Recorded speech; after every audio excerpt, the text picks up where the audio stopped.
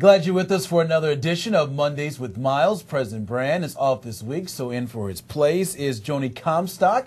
She is a senior vice president of championships. So glad to see you, Joni. Thank you very much. I'm happy to be here. Well, you got a big week coming up this week with Division Two, the Winter Sports Festival. Is that right? Right. We are very, very excited about uh, heading to Houston, and we will be celebrating, as you said, um, as we do with all of our NCAA championships, the student athletes, their great accomplishments, and so we'll have the opportunity to uh, crown five team national champions and, um, gosh, I guess about 80 individual national champions. So we're, we're excited. Yeah, what is this uh, Winter Sports Festival uh, Division Two? Uh, what, what is that really all about?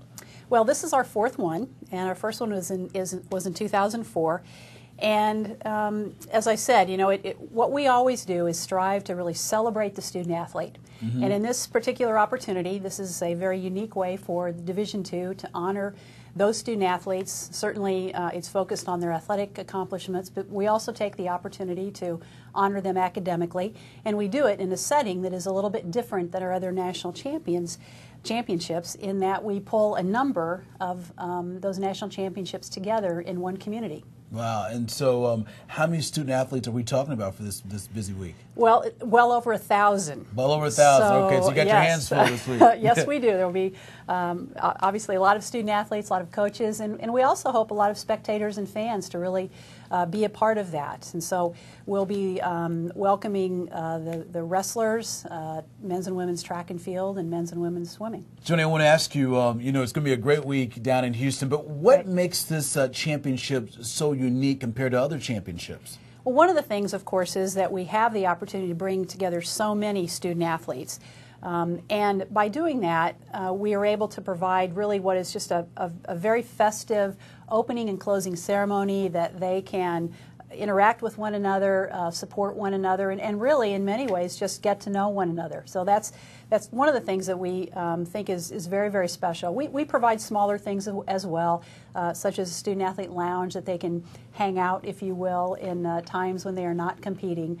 But I think it's that, that aspect of celebrating that national championship, but celebrating it and knowing one another and interacting with one another is, I, think, one of the very, very special attributes, along with uh, the impact and the connection that we can make in the community. Yeah, can fans, can they watch online these events? Absolutely. Um, um, NCAA.com will have uh, four days of our swimming and diving championships, and two days of wrestling, and two days of track and field. So, all the details, uh, if you want to get times and, and other things with that, you can um, check out NCAA.com and get get all the details. But yes, all of the all of the competition will be right there. Uh, and, and how much fun do you have getting a chance to be a part of this special week? Well, it's it's it's just very exciting. Um, the, the, Division two athletes, I think, don't always get recognized for how outstanding yeah. they really are. Mm-hmm. Um, it, it is incredible competition. They are, they are, as I said, very accomplished students um, that we are proud of, and the, the competition is, is fierce and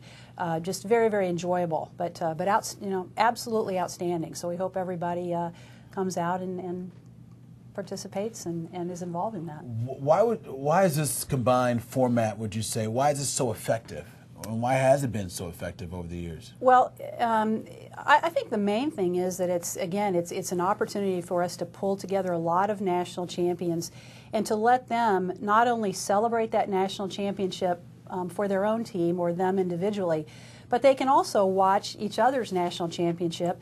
Obviously, it pulls in a, a, greater number of fans, parents, and all of all of the people who are who are so interested in Division two um, athletics, and they, they can see a wide variety of, of championships um, all at the same time.